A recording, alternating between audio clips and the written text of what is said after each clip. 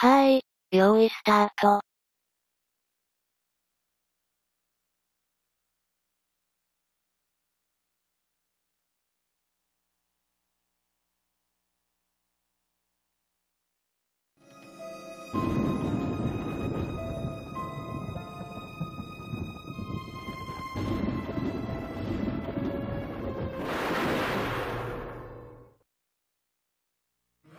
タイリッシュ覗きアクションゲーム、グレゴリーホラーショーソウルコレクターやりますよ。オプションはこんな感じで。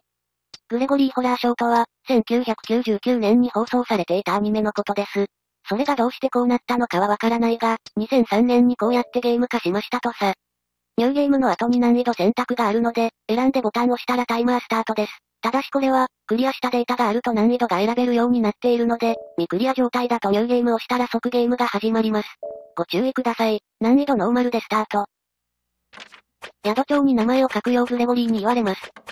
名前入力が終わったら、次に性別を聞かれます。ゲーム内ではデフォルトネームが存在しませんが、取説では、ボーイとガールと紹介されていますよ。性別も答えたらまたムービー入るのでカットカット。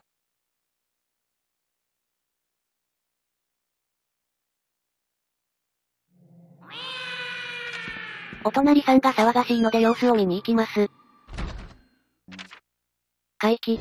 お隣さんは鉄扉だった。早速覗きますよ。ちなみに、覗くのはこれが最初で、次で最後です。まあ RTA だし。多少はね。猫ゾンビが私にお話があり、まあじっくり話そうやってことで、扉の鍵を取ってきてほしいと言われます。覗き終わると、カメラが自動でロビー方面へ向いてくれる親切設計。ほんますこ。へいへいグレゴリーヘイちょっと猫ゾンビの部屋の鍵貸してけろー。なんか後ろでチカチカ光ってるなそうです。あれが鍵です。自己主張してくれるのでとても見つけやすいです。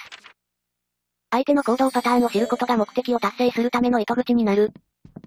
ここでは、グレゴリーが画面から見切れるくらいまで待ちます。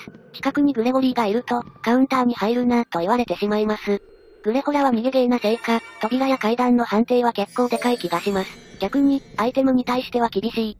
絶対厳しい。位置調整しないとすんなり取れない。グレゴリーが扉を開けたらアウトです。開けた扉と一緒に入っても間に合いません。今回は、セーフですね。よかった。何回か試していますが、もっと早く行ける時もあります。今回は普通くらい。またムービー入るからスタート連打。怖くないよ。なんでわざわざ聞いたんですかね？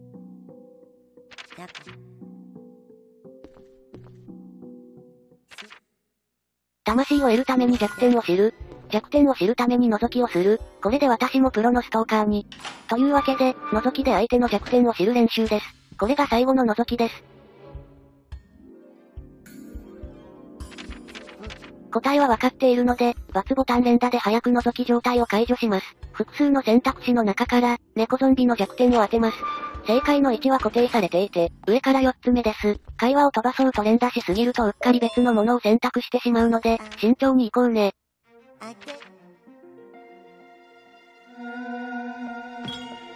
初魂ゲットですよ。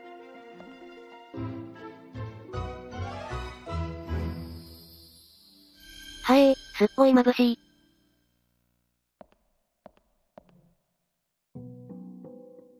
猫ゾンビに質問タイムとなりますが、何も聞くことは、ないです。なのでここも×ボタン連打で飛ばしますよ。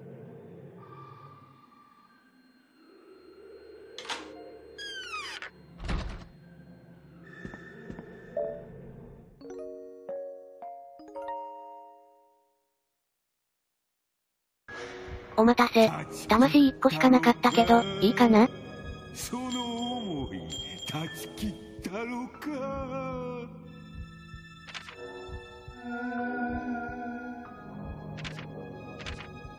ここ、実際のテレビ画面で見るとき、いつも処理落ちしているのはなんでですかね？ほな、頑張ってなおっす頑張ります。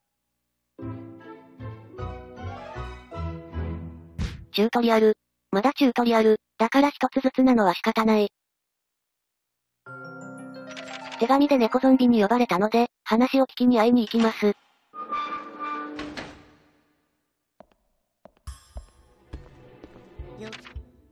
キャサリン。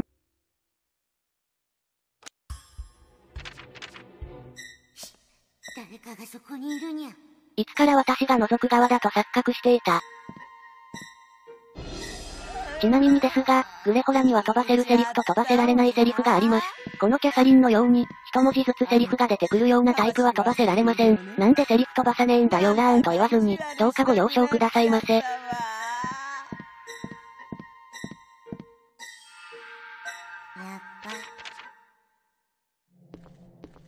はいまた質問タイムですが×ボタンで飛ばします。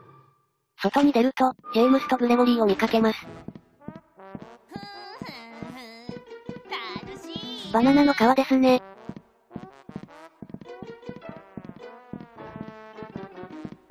ジェームス。またこんなところにゴミを捨ておって。踏んで転んだりしたらどうするのだ？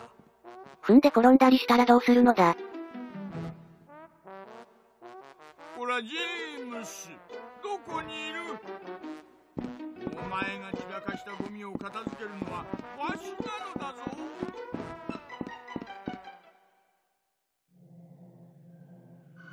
そういうわけで、キャサリンを転ばしに行くぞ。今の扉のキーと開く音は、キャサリンが部屋から出てきた音です。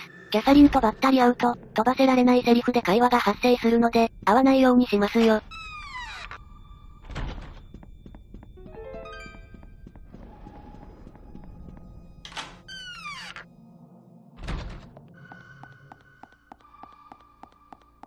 こいつ、ゴミ箱とか漁り始めましたよ。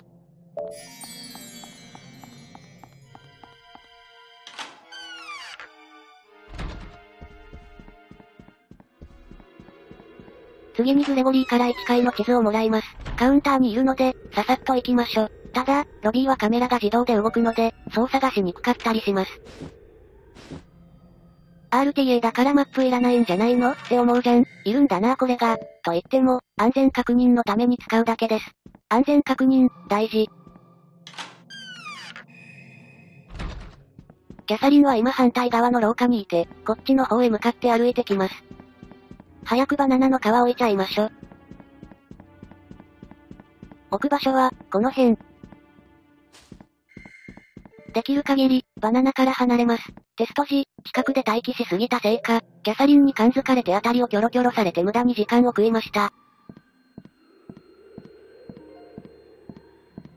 お前さっき俺らが会話してるときチラチラ見てただろ。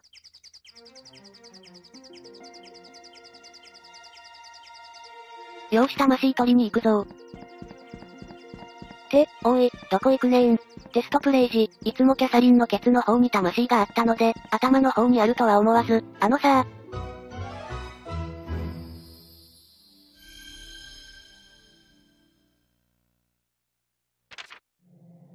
キャサリンの魂ゲットするまでがチュートリアルです。いやーお疲れ様でした。一方その頃キャサリンは、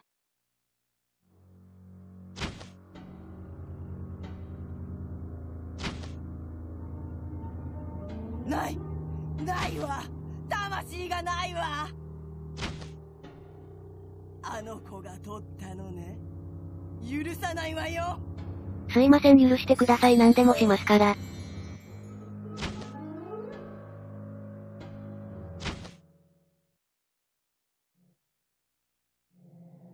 ど、この。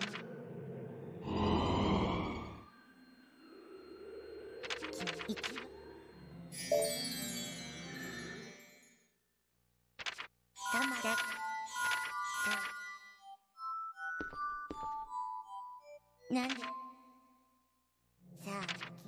審判小僧ですか。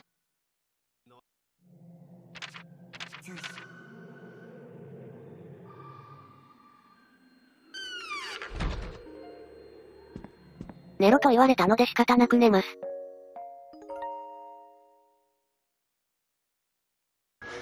ただ、ここで魂を預けると、魂が主因、ハンコがドスッとされるので、後で審判小僧の魂と一緒に預けます。そういうわけで、×ボタン連打です。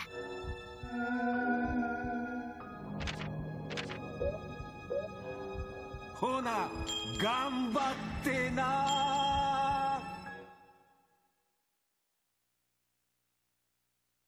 このシーンはまだ第一夜の途中なので例外ですが、第一夜から第二夜栄光する時など、グレゴリーの独白みたいなムービーが流れます。このシーンはスタートボタンでもカットできず、丸ボタン連打でも飛ばせず、ただ見守るしかないです。逆に言えば、ここが休憩ポイントであり、チャート確認の時間でもあります。時間はお金だからね。大切に使おうね。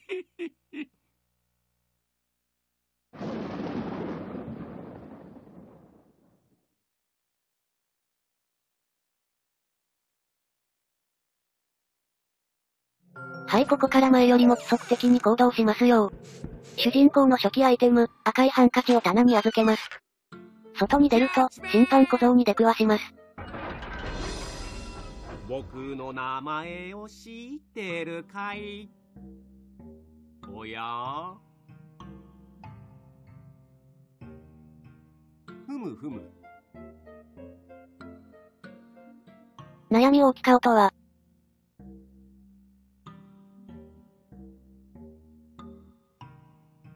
は？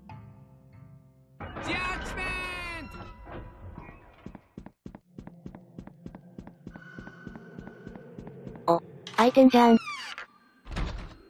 キャサリンの部屋では、絆創膏、愛読書、鎮静剤の3つを取ります。絆創膏は回復アイテム、鎮静剤は状態異常混乱を直します。絆創膏はショップで使い、鎮静剤は普通に使います。次は脱衣所に行きます。グレゴリーに愛読書を渡さないといけません。この時間帯ですと、グレゴリーは脱衣所にいます。自分の後ろにドアがある状態でグレゴリーに向かって話すと、ぐいぐい来られて面倒なので回り込みます。あと、ここでもアイテム回収をしますので、すぐ取れるような位置に陣取ります。取るアイテムは、ザ・二択2、天然水、大洗竹です。本であるザ・二択2は時間調整用、天然水と大洗竹はショップで使います。ちょ、グレゴリー行っちゃうから急いで。グレゴリー以外でも、誰かがこうして扉を開けた場合、その半開きの扉を調べると、扉開けムービーが流れずに移動できます。グレゴリーに、書庫ならお客様にふさわしい本があると言われたので行きます。この音符マークはジェームスですね。ここでは、グレゴリー全集1、グレゴリー全集2、人生悩み相談の本を入手します。進もうとした方向にジェームスが向かってきたので、慌てて方向転換してます。はいジェームスさよなら審判小僧の部屋に行きますよ。宿泊客はみんな地上を移動していますから、もちろん廊下を歩くわけですが、審判小僧は時間の変わり目で移動するとき、そのまま上にスッと上がって消えていきます。通常の移動音といい、ビビるのでやめてほしいです。審判小僧。ここ、冥界のホテルに迷い込んでしまった乙女。ボーイだと乙女が青年に変わっていた。はず。あ、審判小僧のこの最後のセリフだけはボタンで飛ばすことができません。聞きましょう。そしてこの選択肢、諦めると負けるもんか。毎回位置が変わります。なのでよく見て選ぼうな。テスト時に、ここは右選べばいいんやなとメモしたのに、再テスト時に位置が左になっててもうね。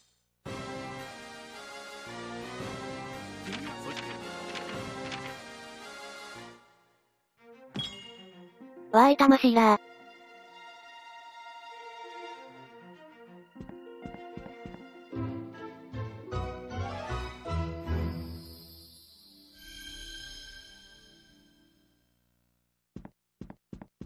次行きましょうね。診察室と談話室の前を通るようにして、マネージャーオフィスとショップに行きます。診察室にキャサリンいるけど平気平気。マネージャーオフィスって言い方に慣れてないので、すぐスタッフルームって言うけど気にしないでください。で、ここではグレゴリー全集3を取っていきます。これで所持アイテムが8つです。ポケットの中がパンパンだぜ。次の目的地はショップですが、ショップでは、スピードプラスを2つ買います。グレホラはお金の概念はないので、物々交換でアイテムを購入することになります。さっき、星1とか星2とか書きましたが、星がそのアイテムのランクですね。ランクは星1から星5まで存在します。今回購入するスピードプラスは星2です。なので、絆創膏と天然水で1つ。大洗竹で1つ。合計2つ買えます。なお、星2アイテムを買おうとして星3アイテムを出した場合、1余りますが、お釣りは出ません。なので、うまくやりくりしような。で、スピードプラスですが、その名の通り、移動速度が速くなります。ただし、効果はゲーム内時間30分です。本棚に今まで取ってきた本4冊をしまいますよ。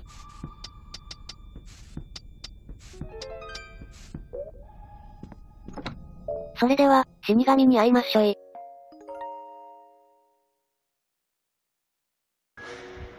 断ち切ったろか？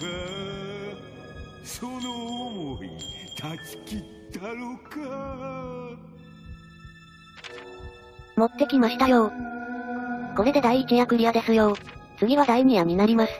第2夜は色々やることあるから、個人的に一番大変なフェーズですね。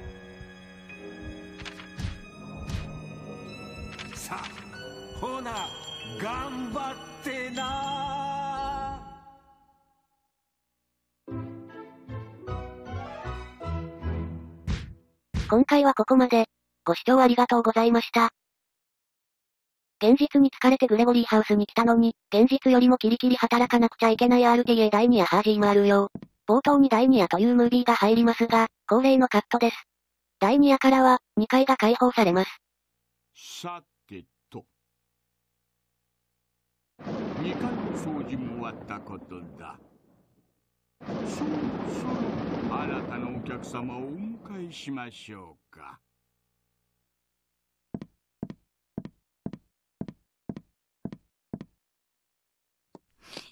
今ちらっと見えたのがロストドールです。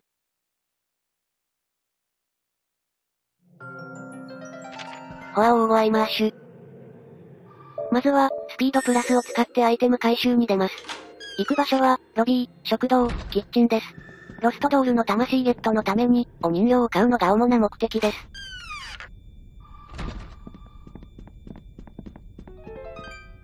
食堂では、アップルジュース、空き缶、シザーサラダを入手。ですが、シザーサラダは帰りがけに取っていきます。続いてキッチンです。キッチンでは、天然水、リンゴを入手。冷えてるか？この冷蔵庫には、また後でお世話になります。食堂に帰ってきたので、シザーサラダを入手。ランク星4アイテムありがてー。最後にロビーです。ロビーにある右側の柱をノックすると、そのまま北に向かって歩いて、壁をノックしろみたいなメッセージが表示されます。そしてその通りに壁をノックすると、空き缶が落ちてきます。もう一回ノックすればまた空き缶が落ちてきます。今は1個で十分です。というわけでお買い物です。ロストドールの魂ゲットに必要な、ハンドアイテム、お人形を購入。あとは、時間の果実。これを使うと、時間が2時間進みます。時計親子の部屋で入手可能ですが、まだ部屋が開放されていないのでお店で買います。最後にいつものスピードプラスを購入。これで現在の所持アイテムは、時間の果実、鎮静剤、スピードプラス、スピードプラスとなりました。この後は、ちょっと2階に行ってまたアイテム回収です。ショップ目の前の階段を登って2階へ上がります。マップから見て、左側の廊下に来ました。一番端の空き部屋に向かいます。この辺に、マップ置いてある部屋があるらしいっすよ。というわけで、空き部屋で、2階のマップ、歪んだ時間3を入手。そしたら部屋を出て右に行き、そのまま階段を降りて1階に戻ります。1階でも、自室に戻るようにしてアイテム回収をします。目的地は、キャサリンと猫ゾンビの部屋の間にある空き部屋です。おっちゃまー。ここでは、机をノックして歪んだ時間1を入手します。あ、今日も学校楽しかったな。早く帰って宿題しなきゃ。これから、本読みと時間の果実で時間調整を行います。まずロストドールの魂を狙います。9時から1時の間が狙い目です。その時間内でも、11時にはロストドールの部屋に着くようにしたいです。なぜかというと、その時間の後すぐにカクタスガンマンがバーから自室へ帰ってくるからです。うっかりガンマンに遭遇すると逃げられてロスってしまうので、11時から11時17分までドールの部屋で隠れてます。では時間調整を行います。まず、時間の果実を使って、2時間進めます。時間が飛んだので、その分のメンタルゲージが減りました。次は本を読みます。左に4つ送ると、先ほど入手した歪んだ時間が2冊あります。これを2冊とも読みます。本は、種類によって読んだことによる時間経過が違います。この歪んだ時間は、1冊につき1時間経過します。なので、2冊読めば2時間進みます。時間の果実の2時間と、本読みの2時間、そんなわけで、6時49分から10時49分になりました。では、ロストドールとカクタスガンマンの魂を取りに、行くぞ。自室からロビー方面に行き、マップ右下の階段を登って2階に行きます。右上の階段を登った方が、扉開けムービーがなくてスムーズかもしれませんが、どっちが早いかわからない。いや多分これ右上の方が早いんじゃない？あのさ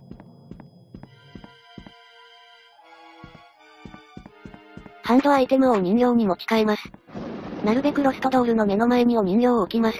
人形を置きミスしてしまい、回収しようとして誤ってロストドールに話しかけてしまうと、ホラーショーを食らいます。お前が可愛いんだよ。扉の前からどいてくれたので、部屋の中に入ります。わーい魂らー。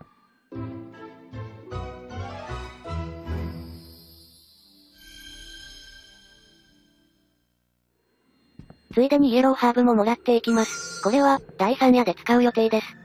今頃ガンマンは、バーから自室に向かって廊下を歩いている頃です。ガンマンが自室に入るまで待機しましょうや。だいたい、11時17分には自室に着いています。うっつわーの大きな人間は、ちょっとやそっとのコートなんて、キーにするコートはないんだぞロストドールの部屋から出て、そのままガンマンの部屋をピンポンダッシュします。誰だ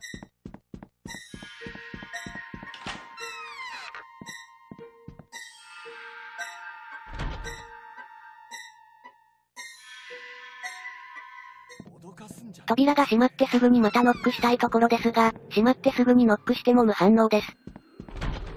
今の、扉の閉まるバタン、という音を聞いて3カウント数えるくらいなら反応してくれます。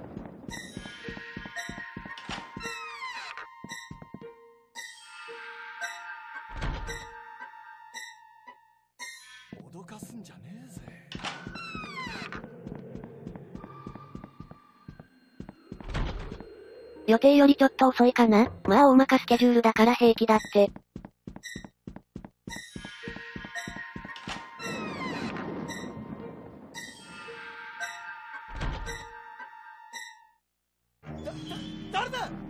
お前の自意識過剰なんじゃねえか？ガンマンのググボイススコ。スタートボタン連打。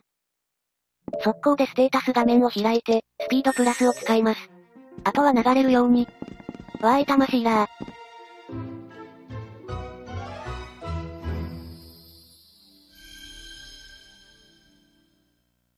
自室に、か、帰りますよ。今の扉の音は、ガンマンが渡り廊下に出た音です。これからガンマンは、2階の廊下をぐるっと回るようにして自室に帰ることでしょう。審判小僧めうるさいんだよ。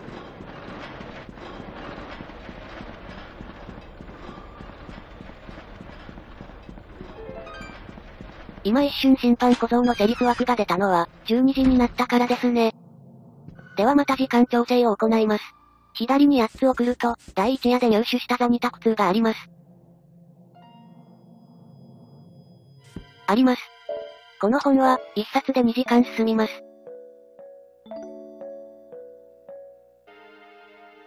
状態異常疲労になりますわーん、疲れたもーん。左に4つ送ると、第1夜で入手したグレゴリー全集の1から3巻があります。これをまとめ読みすると、9時間進みます。すると、今度は状態異常混乱になります。なので、第1夜で手に入れた鎮静剤を使って回復。さらにスピードプラスをしよう。いざ鎌倉。ミイラ父ちゃんが書庫で倒れているので、ささっと魂を取りに行きます。が、その前に書庫前のグリーンハーブを回収。第3夜でシェフの鍋に入れるようです。わーい魂らー。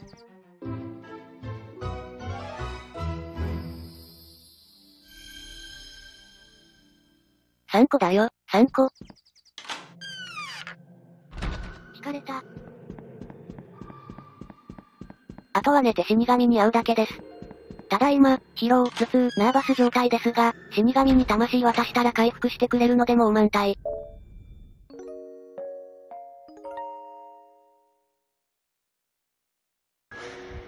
断ち切ったろかその思い断ち切ったろかこの演出、あと3回見なくちゃいけないんですよね3個まとめて預けますよ。ふー気持ちいい。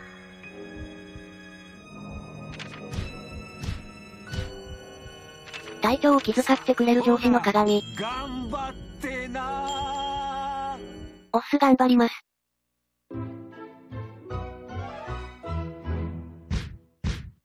今回はここまで。ご視聴ありがとうございました。動画時間が20分近いと私のパソコンが死んでしまいます第3夜始まるよ。第3夜は、地下1階、地下2階、地下3階が開放されます。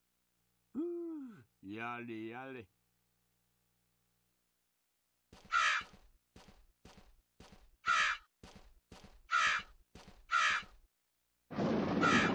ここの扉の鍵は開けたくなかったわい。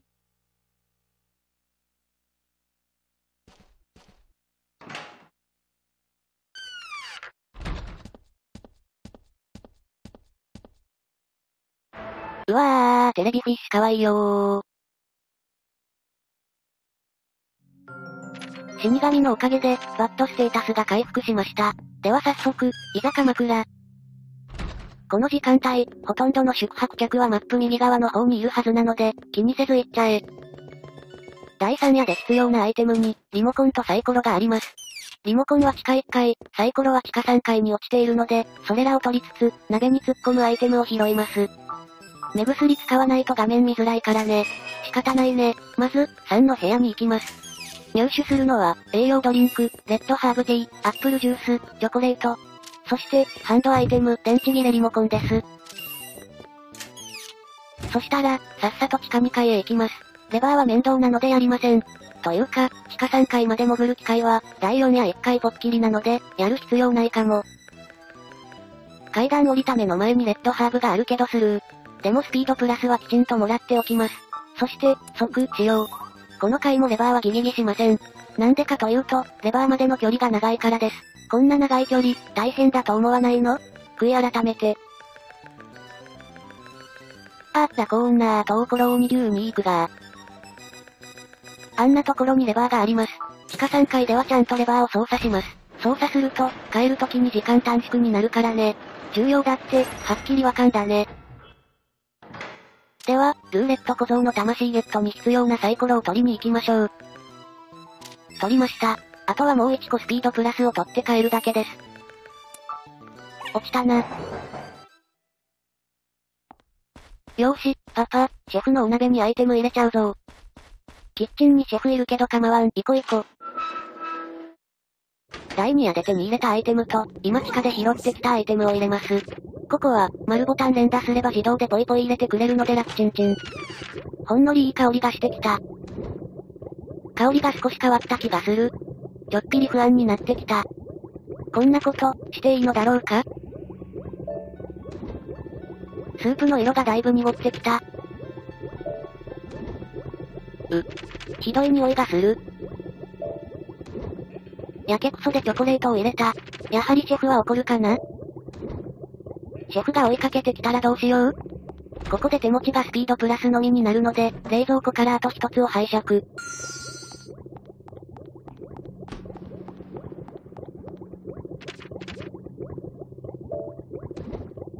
もう十分だ、これ以上はやめておこう。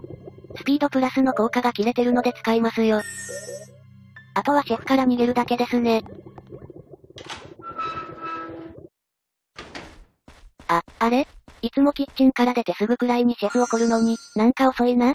シェフに追いかけられつつアイテム回収しますよ。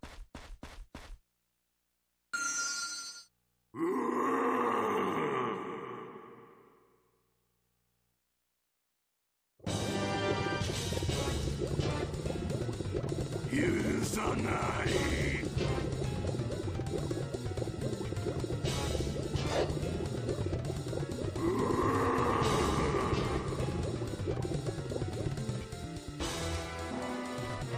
シェフは、右側の廊下からやってきます。倉庫の前あたりに来るまでに、アイテム回収をしちゃいます。まず、脱衣所前のグリーンハーブ。次は、倉庫前のグリーンハーブです。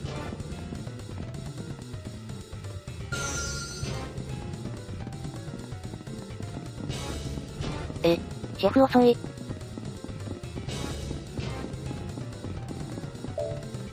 来てますね。来ました。コントローラーが振動するので、それが合図です。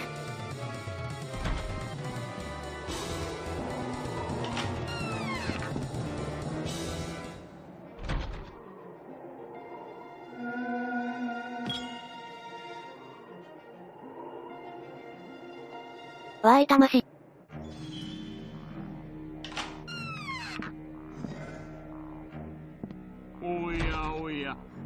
火が消えてしまいましたか。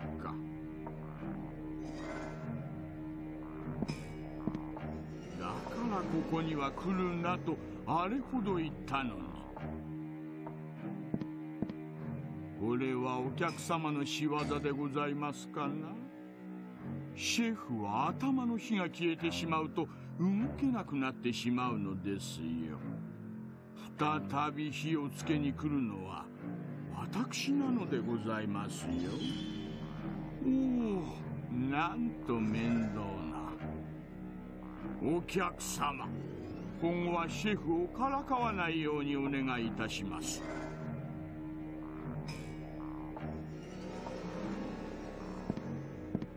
ささシェフ参りますよ。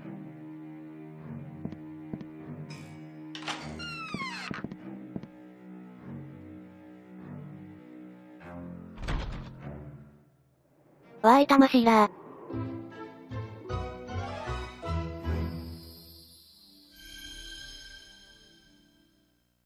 では、倉庫でアイテム回収です。栄養ドリンク。期限切れチーズ。夜間。オレンジジュース。あとは、第4夜で使うハンドアイテム、愛読書。以上回収です。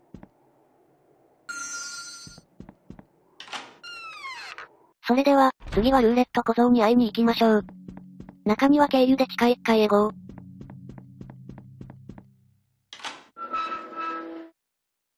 ルーレット小僧は、地下1階の遊戯場前あたりをうろうろしています。この時間帯はおそらく、遊戯場から缶抜きのある階段方面へと歩いているので、遅ければ遅いほど、遠くにいることになります。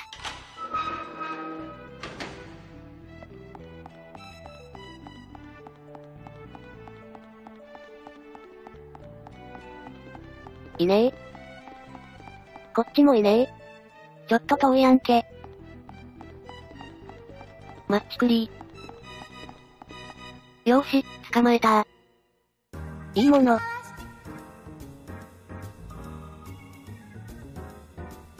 ぬうなんで別にタイマーつける必要があるんですか？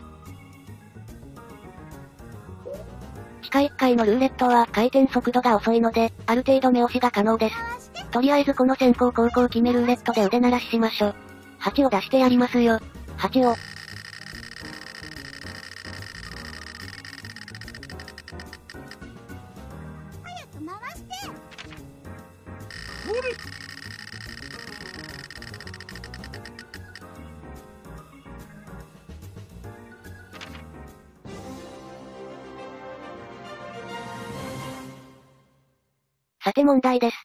投稿者は、あることについて絶望しています。そのあることとは何でしょうか？答え。一番面倒なクソマップを引いたから。右枠くんに簡潔に書きましたが、今回は2です。ルーレットの目押しが失敗しても、被害の少ない位置を引きたかったですね。マップ確認しなくても、全体的にやんわり見れば、クソマップだってわかります。8を出すと、1回休みになるので、6を出したいですね。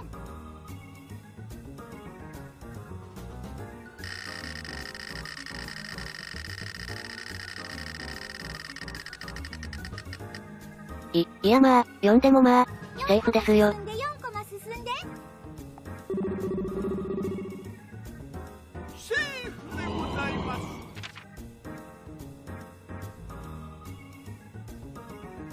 早く終わらせたい。いやでも、ルーレットは運ゲーなところあるから、いつ終わるかわかんねえな。ダブルアップカードをもらえば、早くゴールできるんですけど、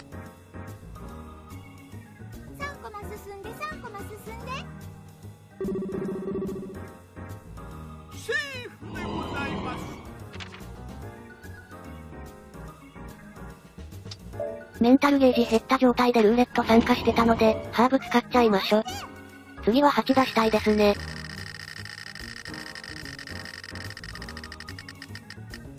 うーん、7コマ進んで7コマ進んで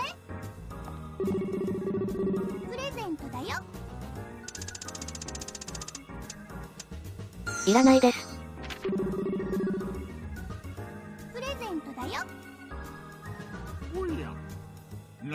こりませんがこれでグレゴリーに追い抜かれることがなければ、一回休みをグレゴリーにプレゼントできますね。回して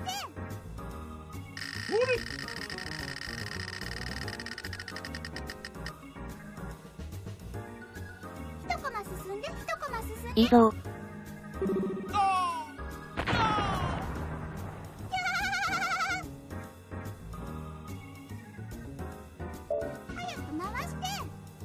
次も8出してくださいよ、オナシャス。あはーん。6コマ進んで6コマ進んでプレゼントだよいらないです。消えちゃえ透明人間はラッキーですね。次にどんなマスに止まっても、そのマスの効果を受けません。もう何も怖くない。早く回して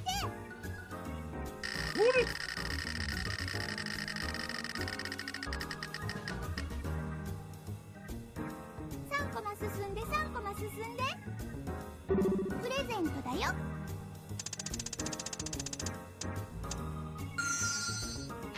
グレゴリーとの差はあるので、負けることはないのですが、いかんせん、時間がかかりすぎですね。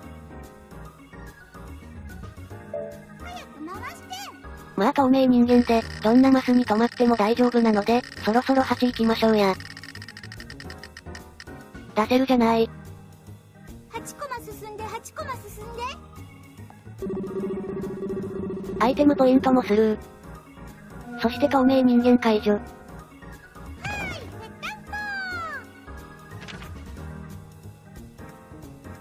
はいぺったんこはーいぺったんこが可愛すぎるってはっきりわかんだね。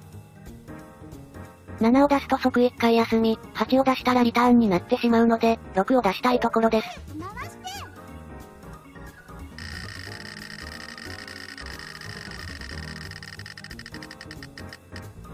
ほわ？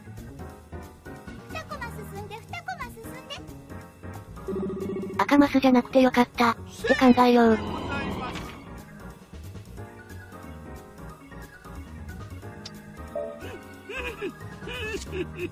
時間がさらに伸びるのでやめてください。こっちの事情も考えてよ。早く回してグレゴリーの体力なくなってくれないかな。1コマ進んで1コマ進んで10トンが落ちる前にはゴールできるから大丈夫ですね。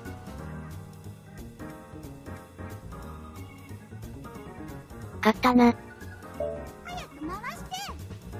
ほらあと8マスじゃ、8出せや。あー、なんで。こんなところで。だからこんなんじゃ RTA にならねえんだよ。やめたくなりますよ、RTA。それもうちょっと早く欲しかったなー。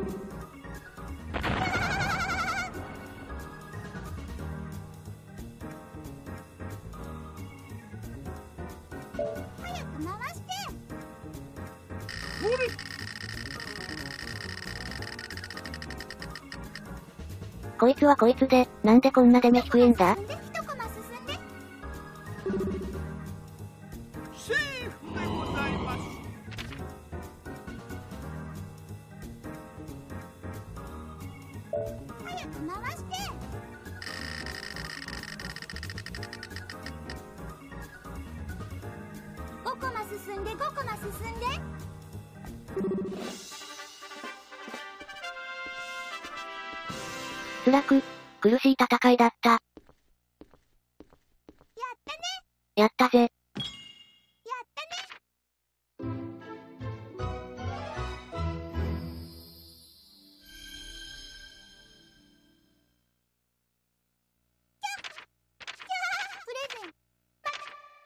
愛いボイスを飛ばしてしまうのは、心苦しい。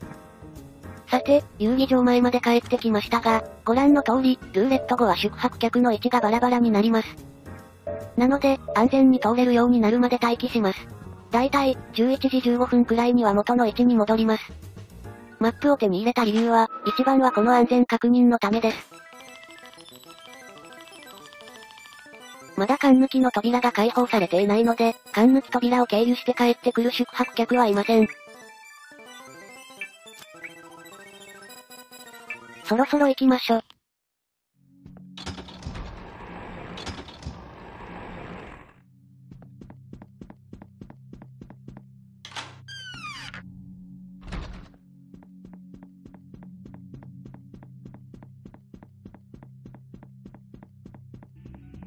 今度はテレビフィッシュの魂ゲットのために、乾電池を買いますよ。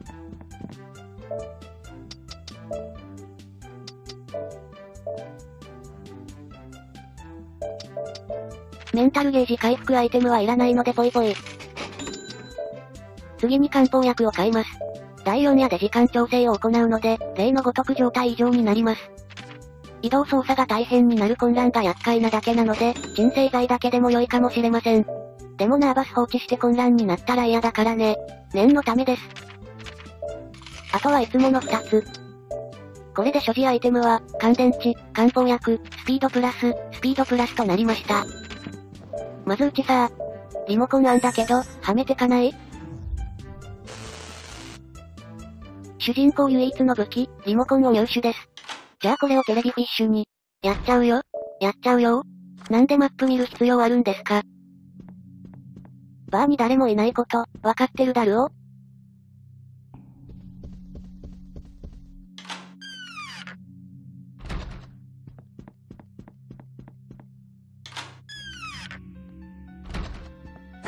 ジュークボックスをノックした後、少し離れて、やや左を向くくらいがちょうど良い位置です。しゃぶらなきゃ打つぞゴルア。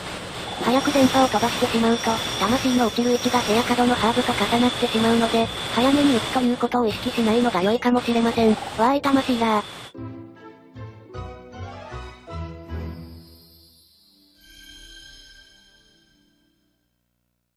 この後、テレビフィッシュから追いはぎをします。テレビフィッシュが起きるまで時間があるので、鎮静剤、時間の戻し方にを入手。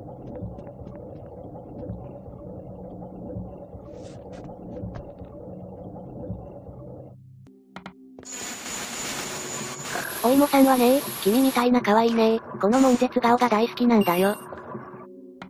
追いはぎをするときでも、早めに電波を飛ばしてしまうと、アイテムが取れない場合があります。テレビフィッシュの頭の後ろくらいに判定があるので、頭だけ壁から出た状態だと調べることができません。せっかちは嫌われる。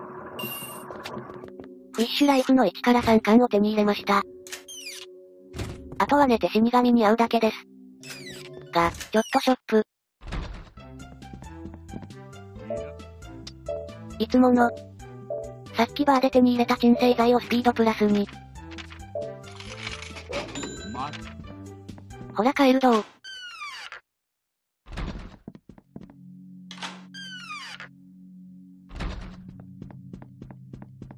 くー疲れました。これにて完結です。はぁ。本棚に預けて預けて、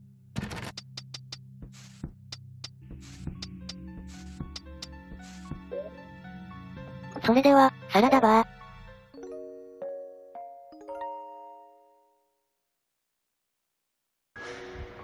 断ち切ったろか？その思い断ち切ったろか？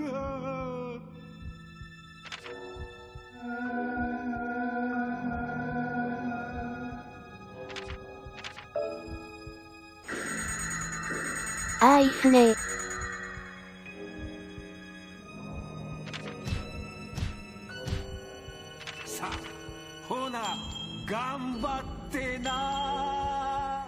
ス頑張ります。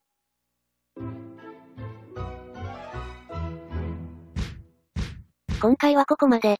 ご視聴ありがとうございました。倍速って便利なんですね RTA ハージーマール用。第4夜は、前半と後半に分かれています。こうして毎日まあまあのご機嫌を取るのも楽じゃないわいそもそもあの客のせいで叱られっぱなしだわい。しかしまあもうすぐママの餌食になるのは目に見えていますが。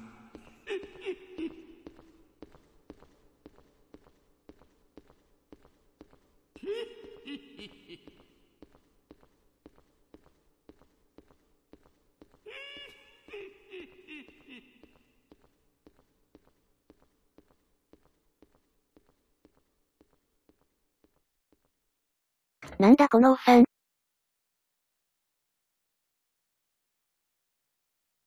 はー、今日もいい天気。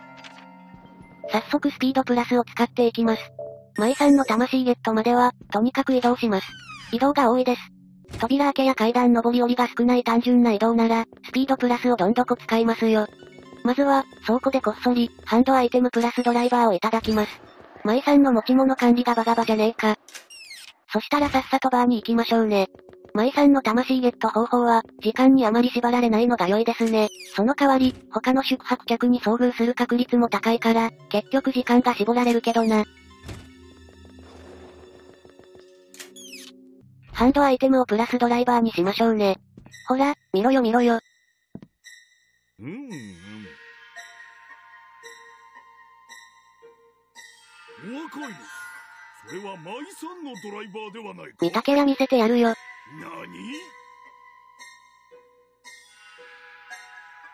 それを舞さんに返すのじゃやだよ。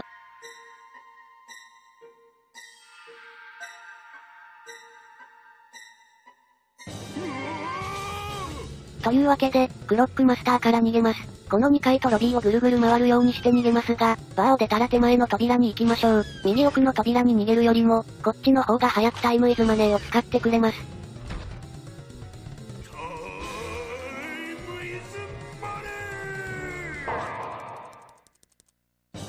今のように、ザワールドを使って間合いを詰めてきます。3回だよ、3回、3回目のタイムイズマネーでクロックマスターが気絶するので、それまでずっとぐるぐる逃げます。ジェームスはあんまり邪魔にならないのでムシムシ。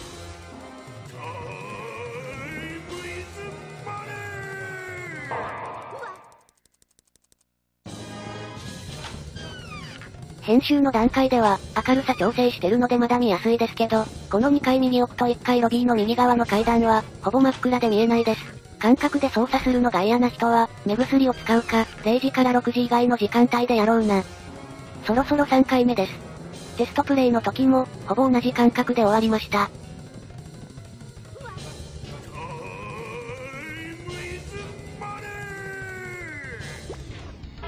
おっさんの汗顔は需要ないんだよ。やっぱり壊れてるじゃないか。ここ、ガバです。クロックマスターが倒れたら、すぐスピードプラスを使いましょう。黄金の懐中時計を入手、1時間だけ時を進められます。ちょっとしょぼいけど、時間の果実を買う手間が省けるのでありがたみ。スピードプラスの使用に手間取りつつ、舞さんに会いに行きます。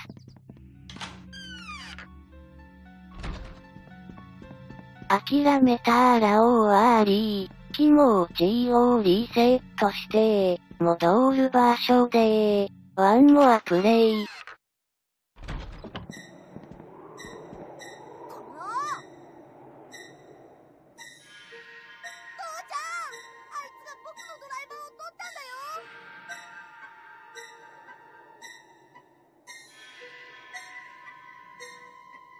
お前の親父はな、今ちょっと達してるんだよ。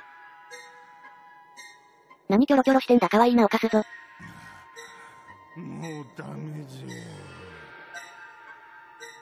ほほほほ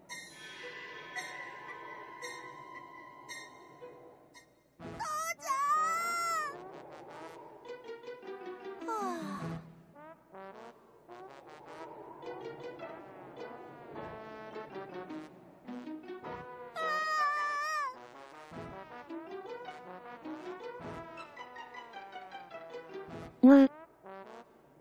今何でもするって言ってないな。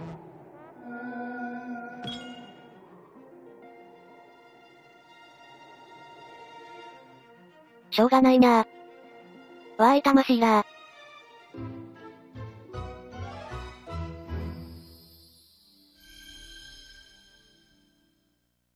お、お邪魔しました較的安全だった倉庫も、これで入れなくなりました。なんてことを。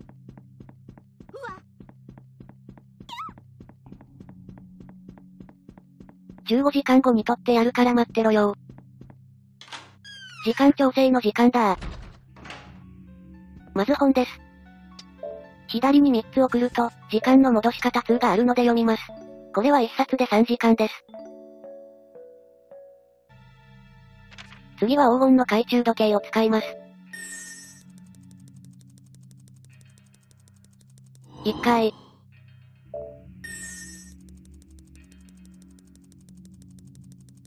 2回。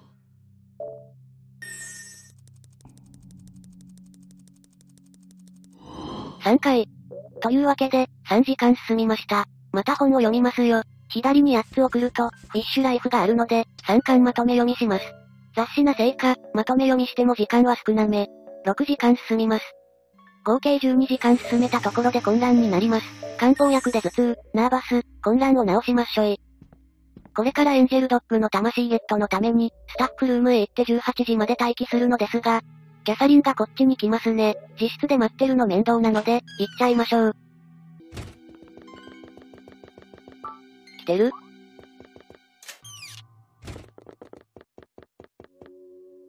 早く行ってー、行ってー。よし。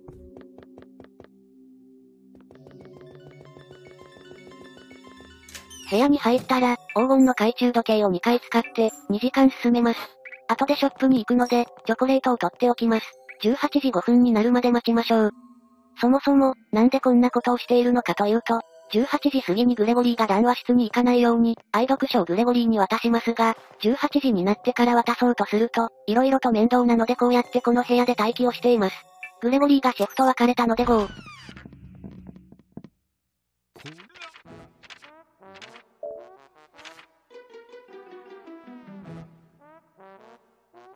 グレゴリーは倉庫行き。18時30分になるとエンジェルドッグがテレビに夢中になります。それまで暇なので、空き缶回収。何やってんの？ショップに行ってスピーわー。なんで？キャサリン、なんで？テストプレイの時、こんなことなかった。マップ確認。よし、2階バー前とロビーぐるぐるでキャサリン回避を開始する。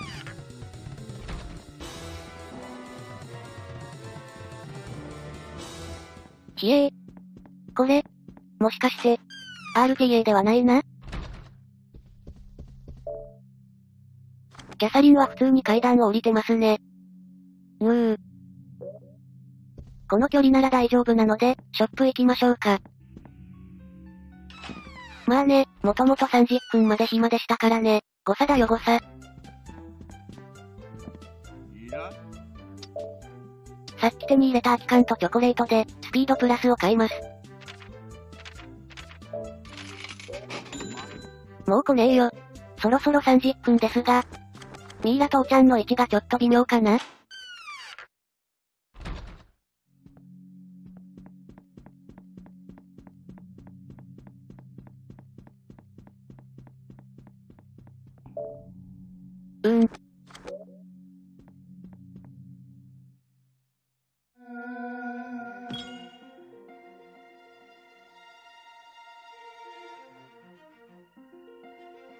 使わないで弾を転がす競技が好きなんて随分マニアックですね。ミイラ父ちゃんは、大丈夫そうですね。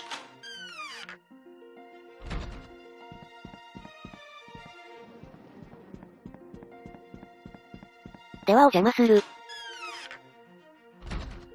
わーい魂らー。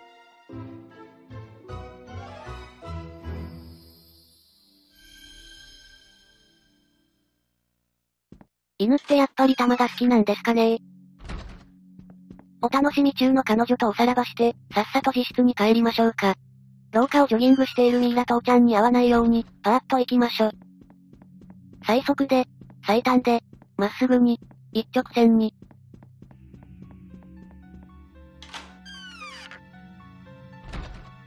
なんで扉開けてからマップ確認してるんですか？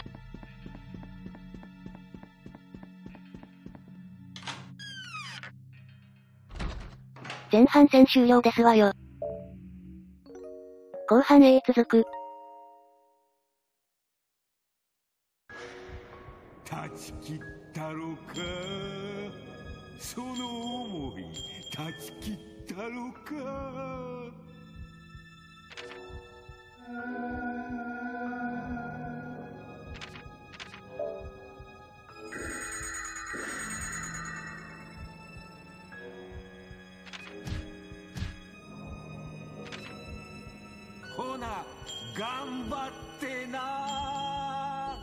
おっす頑張りま。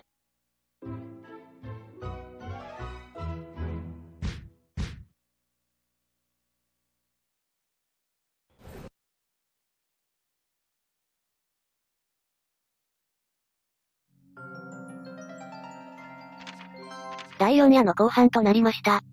スピードプラスを使います。第4夜は、とにかく移動、移動、スピードプラスの消費が多いです。で、第4夜後半は、とにかく審判小僧ゴールドに会わなくちゃいけないのですが、ゴールドが実質にいる時間帯まで時間を進めるよりは、テレビフィッシュ可愛いですねこうやってスピードプラスを使いつつ、地下まで降りた方が早いかと思います。追加のスピードプラスを入手。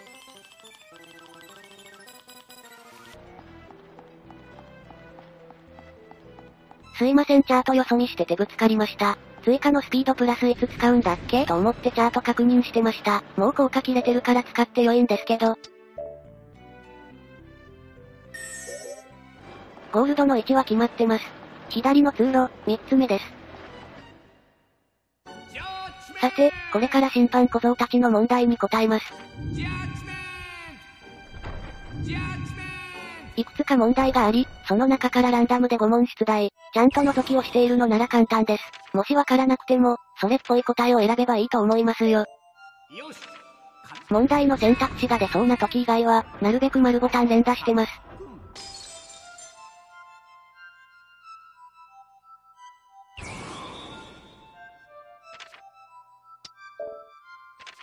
各キャラに1問ずつ用意されている。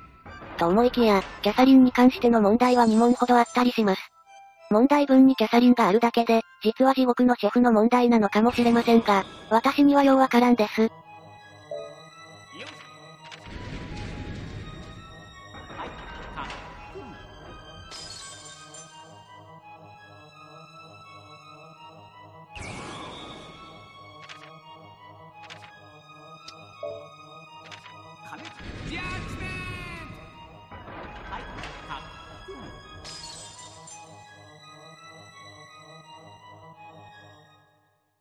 ストです。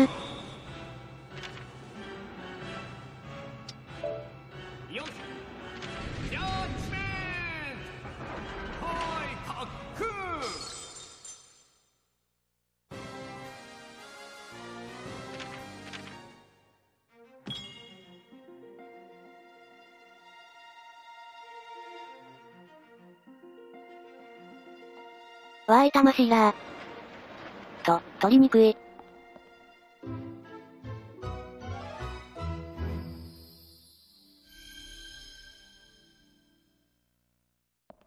カメラ逆やんけ、移動ちょっとミスったわ。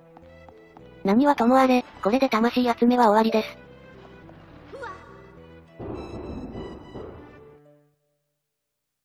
これ以降、覗きで宿泊客を観察すると、主人公に対する思いなどがちらほら聞けます。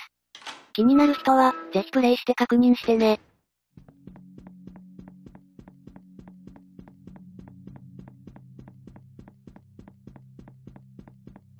最後の睡眠だー。もうこんなホテルに用はねえぜ。寝る。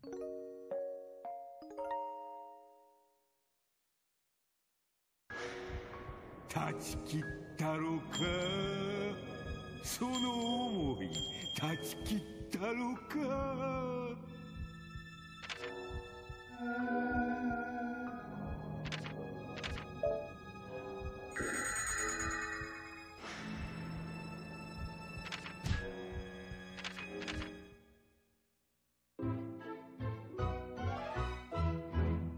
今回はここまで。じゃなくて、もうちょっとだけ続くんじゃ。ムービーがあるから、カットするだけじゃ。今回はここまで。ご視聴ありがとうございました。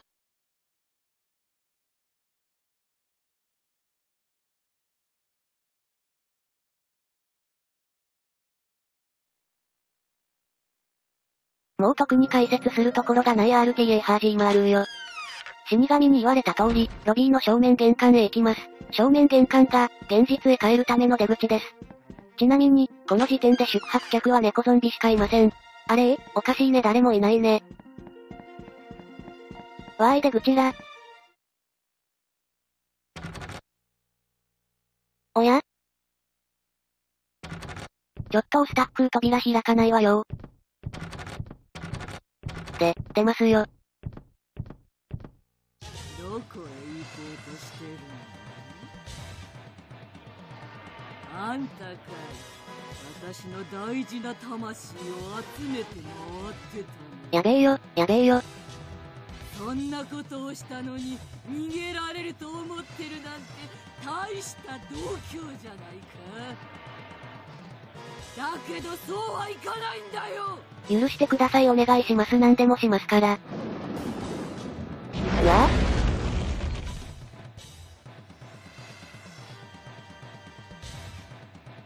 ケツに穴が。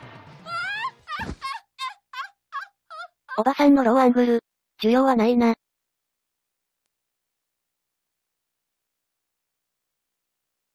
何をしてく立ち上がるにゃ。ライダー助けて。ここで諦めちゃダメにゃ。さあ出口へ向かうにゃ。現実に帰りたいのならここから早く逃げ出すにゃ。あの扉の向こうには君の帰りたい世界があるにゃ。帰りたいけど、帰らせてくれないんですよ。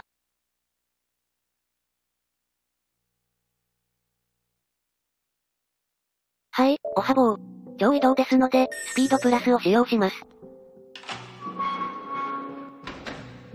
ただいま、地下1階にいるので、暗闇状態になっています。道の先が見えないと思いますが、私だって見えません。グレゴリーママの部屋に着くまでの曲がり角は、全部右に曲がれば OK です。まあその曲がり角がどこなのかが、わかりにくいんですけどね。ここ、自動でカメラがグイッとなるので、ちょっと操作しにくくなってます。ガバっても許して。ママー。ママの部屋では、ハンドアイテム希望の鍵、スピードプラス、漢方薬をゲットします。他にメンタルゲージ回復アイテムがありますが、いらないです。攻撃とか余裕でかわせるし平気平気。で、漢方薬ですが、これはただ暗闇状態で地下を歩くのが嫌なだけです。暗闇でも気にしないぜ、という器の大きい人は取らなくて大丈夫です。カメラギュルってなるのやめて。地下1階に帰ってきたので、また暗闇になりました。そういうわけで、さっきの漢方薬を使います。スピードプラスはまだです。まだ前に使ったやつが効果残ってるからね。スピードプラスは、一度効果が切れないと再度使えません。ああもう切れそうだから、もう一回使って効果上書きしようみたいなのはできません。ちょっと面倒くさい。あれ？もう効果切れてない？じゃ使おう。効果が切れたかどうかは、左上のメンタルゲージが目印でもあるんですが、ちょっとわかりにくいかも。扉見行って、希望の鍵を使って開けます。遊戯場の上あたりに出てきました。ああ音楽で希望が湧いてくるんじゃあ。また正面玄関へ行かないといけないので、缶抜き扉経由で1階へ。なんだこれめっちゃ赤いな、目が痛い。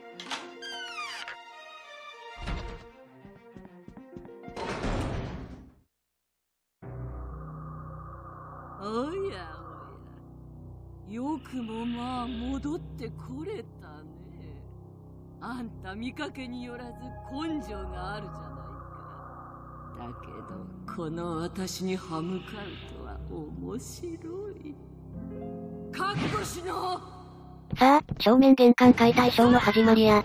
ママの近くにいると、殴ってきます。そして逃げます。これを3回、ママがハーハーしたら、直後炎を打ってきます。この炎を正面玄関へ当てるように誘導します。最初のうちは、逃げるのも簡単なので、積極的にママの懐に飛び込むようにします。とはいうものの、炎を撃つ際、ママと扉の間に距離が欲しいので、扉から遠ざけるようにも誘導したいです。今の、扉との距離近かったのによく成功しましたね。殴られそうな時は、横に逃げるよりも縦方向に逃げる方が避けやすいかな、という感覚があります。さて、行動パターンが変わります。主人公との距離があると、瞬間移動をする時があるので、適度に立ち止まりつつ逃げます。この段階で注意しないといけないのはおたけびです。ママがおたけびをした時、近くにいるとひるんでしまい、しばらくの間行動ができなくなってしまいます。と、こんな感じにクラクラしてしまいます。今回は運よく殴られる前にひるみが解除されましたね。ひるんでる時に何回も杖で殴りはめされると、いやーきついっす。というわけで、扉の位置関係なしに、炎を撃つままとの距離はぜひ開けておこう。ラストです。この段階は、瞬間移動後に即炎の時があるので、逃げ回るよりも扉の前を陣取るようにします。とか言ってる間に終わりましたね。ラストで出れてくれたので、早く終わりました。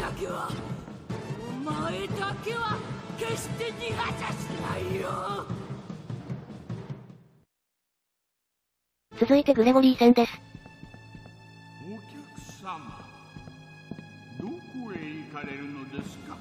客様。ちょっとコンビニへ。お戻りください。その先には辛い辛い現実しかないのですよ。う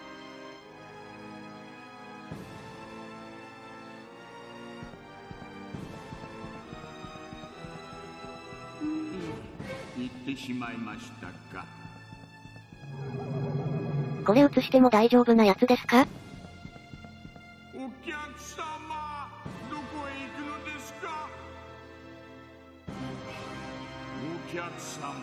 忘れたのですか？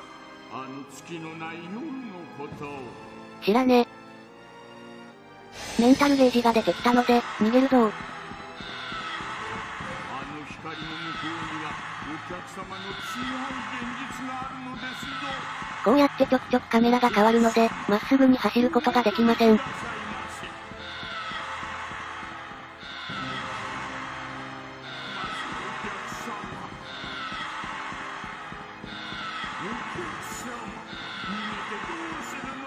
後ろの喘ぎ声めっちゃうるさいですね。自分、壁ドン、いいっすか？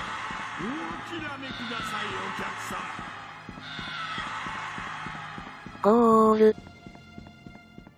この後、ムービーが3連続入ります。なので、スタートボタン連打の準備してくださいよ。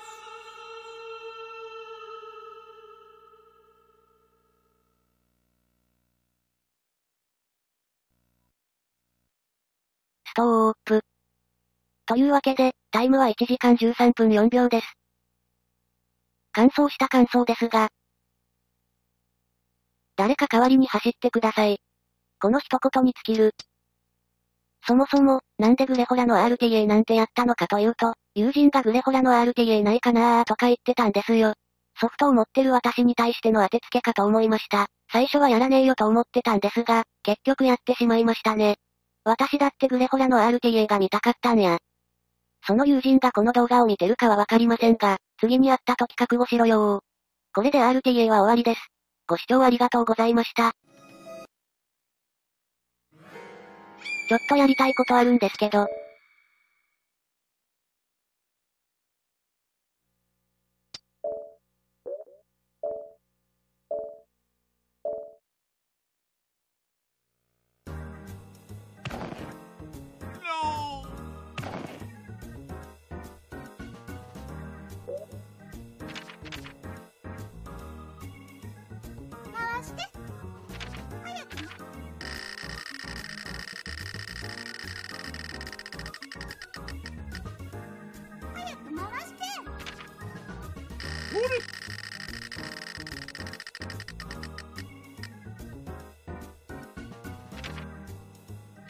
あー朝焼けの光の中にいたつ影はまたクソマップじゃないですか。8を出すと1回休み、7は爆発なので、6がいいかな。まあ爆発しても、回復が間に合えば OK です。6個が進んで6個が進んでちゃんと6出せましたね。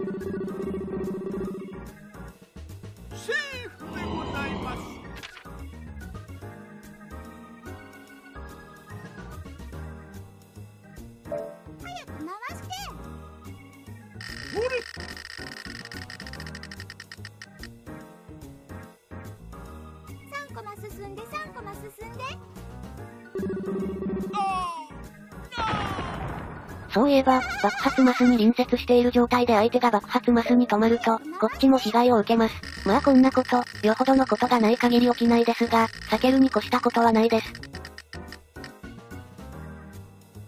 8コマ進んで8コマ進んで順調やんけ。プレゼントだよわあ運がいいなセ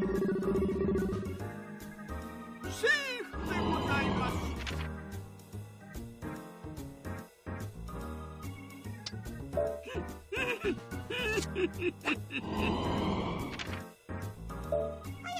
してほれ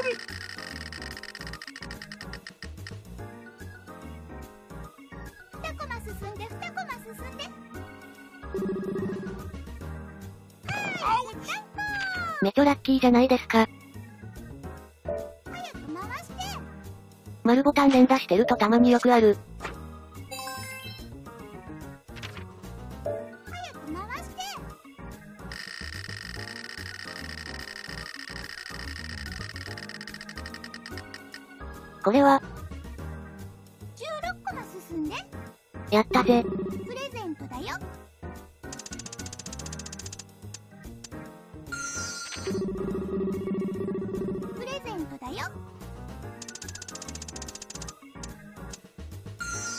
なプレゼントだよ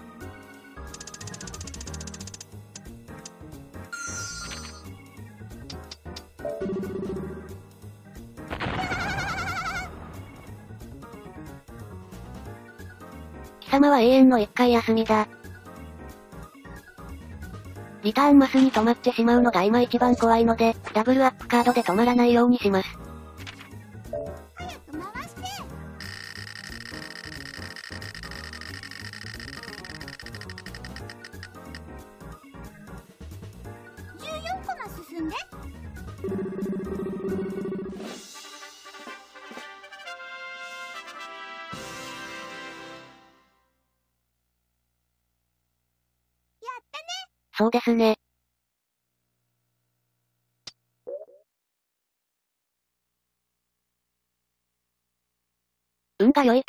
時間で終わる実演でした。